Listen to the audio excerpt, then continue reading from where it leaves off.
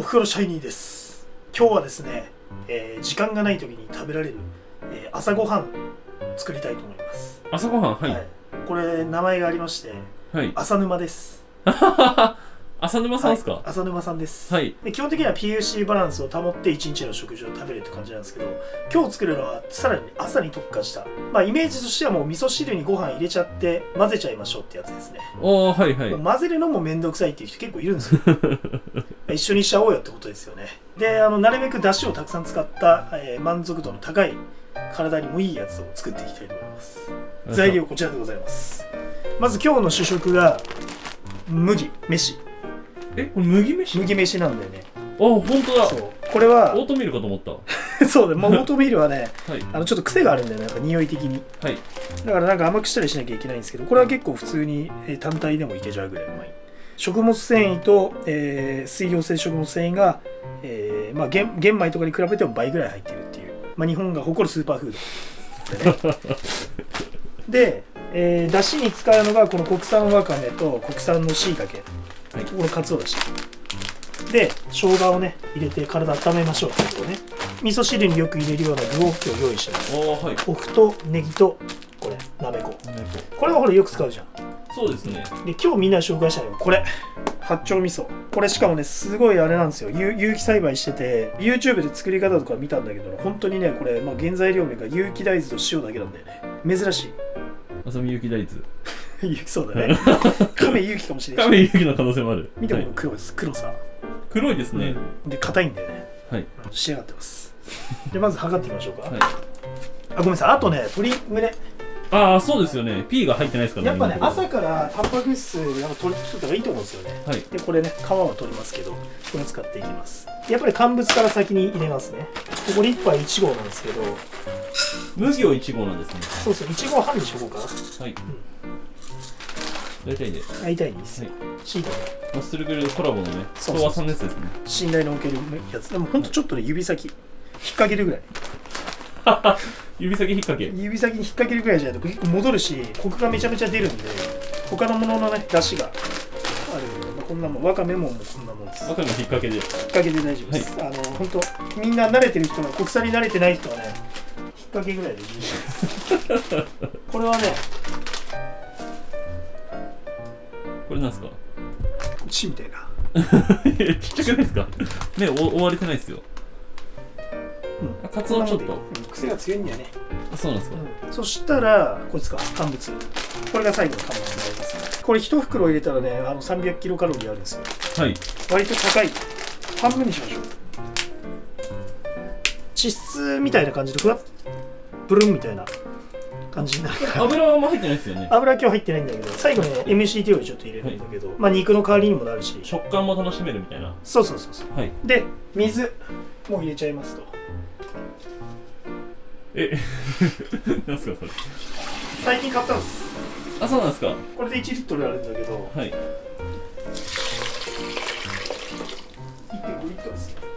5リットル5リットル入れてください。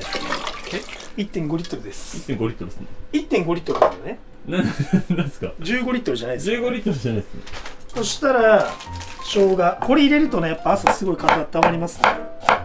夏でもね温めること重要ですよね体をね。そう朝温めてやるとね1日の代謝が上がるなんていうデータも出てるみたいなんで。あそうなんですか？はい。どこでですなんかマサチューセッツ工科大学だった気がする確かか。あマサチューセッツですかそれは。そうそうそうまあアメリカ人がね生姜食ってるかどうかはちょっとわかんないですけど。根菜とかは食べるでしょ普通に。多分アメリカ人も。食べるんじゃないですかね。そしたらまあでもな誰にしようかな。なんすか誰って。なめこ。なめこちゃん選んだんですか。こいつはやっぱり鶏胸肉柔らかくする性質もねあるんでデータ出てます？え？出てる出てる、うん、あと幻覚も見える作用もあったりするから。朝から幻覚見ていくとね結構調子いいみたいですそうですか。ハッピーな幻覚も見れるらしいです。まあその人のね性格にもよるんですけど。はい。じゃあこいつねネギはもう全部入れちゃいましょう。やっぱり味噌汁にネギ入ってるとテンション上がるよね。あ上がりますね。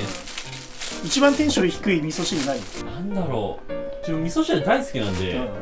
何でも嬉しいんですよね。あそうテンション上がるのはナスか大根？はいああ上がるね。渡辺さんなんですか？俺はねあのーなんだっけあれえーっと高野豆腐入った時点でもうテンション下がる。なんでですか？なんかスポンジ食ってるみたいで嫌なんだよね。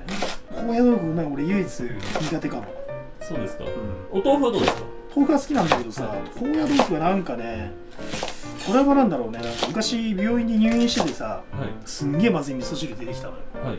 高野豆腐じゃんあそうだったんですか？なんかあの雑巾食わされてるみたいな感じになっちゃってちょっとそれからダメだね。ちっちゃい頃のトラウマって残るよね意外と、はい。胸がね。鶏胸1枚これ 350g ぐらい。はい。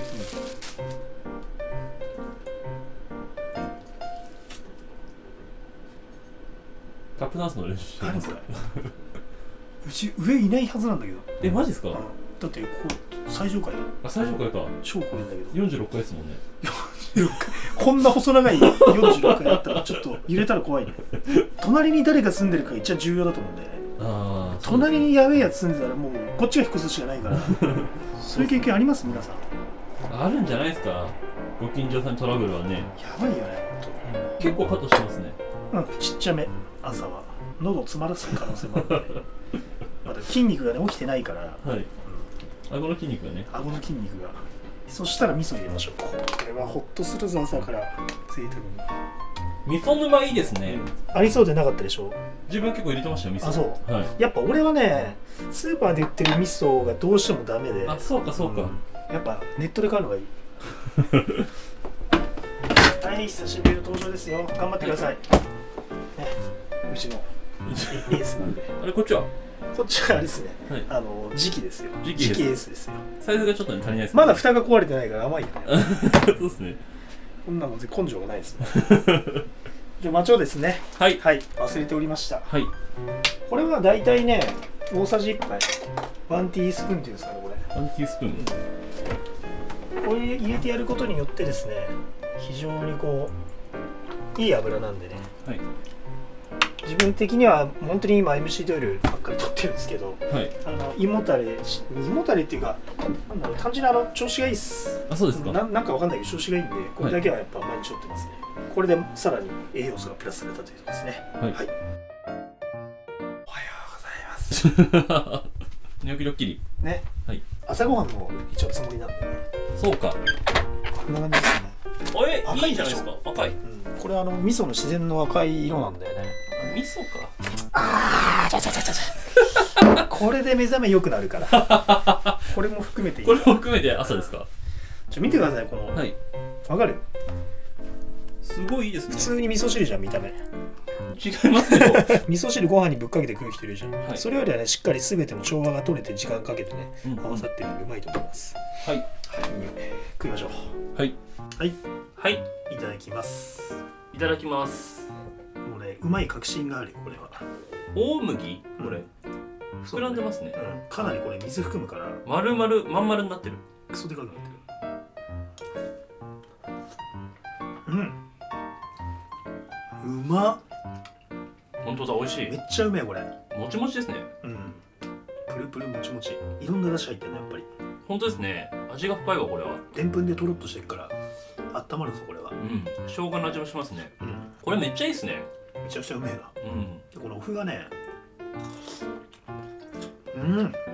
お麩はうまい。完全に染みてる。とろみはやっぱなめこの手伝いもあるのかな。そうそう。これうめえわ。すげえ体にいいよこれ。多分、胸肉も美味しい。やっぱ沼なんだよな、ねなんかねそんな感じするね、はい。これ多分1500キロ600キロカロリーぐらいなんだよ、全部で。うん、これ食い切れねえよな、うん。これ一杯何キロカロリーやって話だよ。100とか150とかそんぐらいなんですよプッチンプリと同じぐらいだと。1個あたり。この麦はうん。ちょっと高いですよね米よりも、まあそうですね、うん。でカロリーはあんま変わんない。変わんない。だけど食物繊維が倍入って。る白米の倍なら分かるけど。あ白米の場合あ玄米の倍ねだから、玄米の倍か。うん、すごいな。すごいんだよ。だからハーブにするのがね。あ本当はそういうふうに食べられてる。8割米でん。2割とか、でもこういう食い方だったら変わんないよ。いいっすね。うめえなんて優しいお味なんでしょう。簡単にできちゃうね。なんかネギはもうないねトロトロで。うん。超うめえしなんかしいたけが。めっちゃ効いてる。わかめしいたけやっぱすごいな。満足感あるよ、うん。出汁があると味気なくないですね、うん。俺も昔は理解できなかったんだよね。煮干しとか。え昆布みたいな。で昔の人は必ずそこから始めてたんだよねはい。それはもうこういう理由なんだよ。ウォーミングアップとかめんどくさい時期あるじゃん。でも気づくんだよね必要なんだっていう。それぐらい出汁が重要で出汁入れないでこれ食ったら大怪我するもん多分。脱臼します脱臼するよ。あったかうま。真夏にな差し掛かってますけどね。これはちょっと夏食えない。でも美味しいですよ。うん。なんだろうなこの一体化してる感じ。しかも上品ですね。うん。なんかあのイタリアンみたいな。うん今度味噌を使ったデミグラスソースとか作ってみようかなと思って、はい。あとカレーに味噌入れちゃおうと思って。だから熟成させたような味とかって申し訳ないんだけど、うちでは再現できるするのに1年以上かかるから それはやっぱりもう買わなきゃいけないんだけど。はい。まあ最近で言ったら味噌あとはその乾物とかはい。そういうものを使っていった方が、まあ、無添加だからうんさっき醤油の話もしたけどうん。醤油もそうじゃないですか。そやっぱそう考えると古きを訪ねてじゃないですけど昔の日本人ってすごういですね。すごいよ。時間かけて作るしかなかったんだかはい。結局そこですもんね。ら、探求してったら、まあ、スパイスとかもまあねあの海外のやつもあるけど、うん、だから時間がどれほど貴重かってことなんだよね。うん。その時間っていうのは今粗末にされてるというか。うん。だって時間かけない商品が多いわけじゃん。でもそれはそれなりに重要なものが入ってないんですよっていうことなんだよね。それはまあ時間だったり手間だったりするんだけどそれによって時間あの例えば値段が倍になっても俺は安いと思う。まあ言ってみたらね米とかお野菜とかもそうじゃないですか。農作物とかもそうじゃないですか。やっぱ時間がかかるんですね。そう。うん。これ今俺ら金で買ってるけどさ本来買えるものなのかなとか思うし、はい。うん、こっちもそれなりに時間かけたものと交換しなきゃ本来はいけないんだけど、物々交換でね。うん、でそれをさやってくださってる人がいるっていうのがちょっと俺には嬉しいことでもあり減ってきてるっていうじゃん農家の人たちが。ああまあそうですね。恐怖でもあるっていうか、感じはしますね。じゃあ俺やれよってなるんだけどやっぱ俺には俺のやることがあったりしてはなかなかできないんだけど。い、農業系もね、まあ、今やらせてもらってるじゃないですか、そっちにもねちょっとあいやの目を向けていきたいですね。最悪何かあった時に俺たちだけでも食えるんだからそこの自給自足ね、うん。はい、それが大事なんだよね。本当にこういう無添加のもの。まあ今日は味噌を紹介したんですけどはい。醤油だったり味噌だったり砂糖だったりとか各食品には各いいものがあるんですよねそういうのも紹介していけたらいいかなと思いました。最小限のね添加物でえー作ってもらわないと それ以外のものを入れた意味がないのかな、うん。もう鍋の素入れてややりゃいいじゃんデラちゃんそれだったら、ああまああざみさんはねうん。どこまで許容範囲にするかっていうのもありますけどね、うん。これに関してはもう自信持って言えるのは後から入ってるもんない。よもう食材だけですよっていうのはもうこここでははっきり言えます、はい、はい、美味しかったです。美味しかったです、うん。はいやってみてください、朝沼食ってみ